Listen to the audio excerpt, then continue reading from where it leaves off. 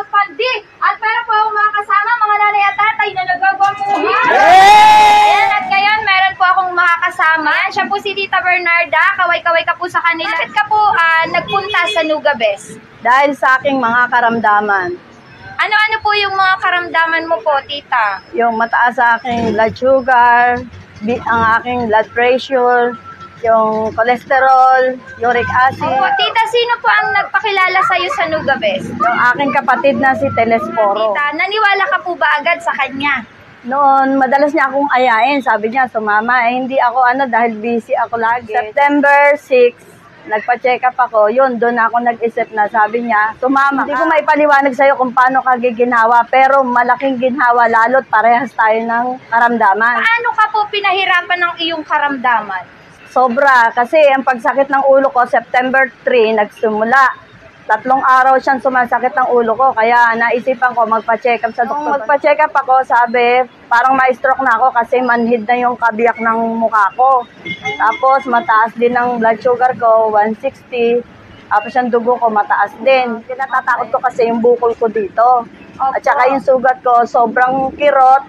Pati itong mga ngipin ko, nagsakitan yan. Hanggang sa loob ng tenga ko, masakit siya. Tatlo na yung kapatid ko na talagang sa bukol sila. Yung dalawa namatay dahil sa ganong bukol. Ayan, Tita, kamusta naman po yung unang pagsalang mo sa N4? Noong unang higa ko, inaangat ko yung balakang ko kasi masakit. Sabi ko, ang sakit naman. Masakit na basta may ginhawa siyang na ano yung Pero init. Tita, nung nakaramdam ka po ng sakit, ah, bumalik ka po ba ulit kinabukasan? Opo, tapos nag-aya pa ako. Sabi ko, pag natikman nyo, masarap. Kasi yung unang gabi ko, doon lang ako nakaranas ng tulog na dire-diretso. Wow, palakpakan naman siya, mga nanay at tata. Ano po yung mga ah, pagbabago doon sa mga naramdaman mo po na ah, mataas po ang iyong blood sugar, ang iyong cholesterol, ang iyong ah, high blood pressure, tita, and then yung mga bukol po na tumubo po sa iyo. Ano po? Kamusta na po yun ngayon, tita? Ngayon, itong bukol ko dito, ayan, wala na. Tapos nawala ang pagsakit ng ulo ko.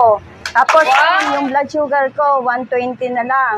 Yung aking ano, normal na ang aking BP, 130 over 80. Wow, palakpakan! Dahil sa mga maganda- magandang improvements naranasan mo, sino-sino naman po ang iyong gustong pasalamatan, tita? Una sa lahat ay pinasasalamatan ko ang Panginoon dahil ginamit niya ang Nogabes para makatulong sa katulad namin mga may sakit. Papasalamat din ako kay Chairman Cho Sung Yun kasi siya ang ginamit din ng Panginoon para makatulong sa lahat ng maraming tao. At yan lamang po ang aming sharing ah, dito po sa Best House Pandi. Ako po si Ma'am Cora, Nuga News Reporter. Kamsabi na po sa Ranghe!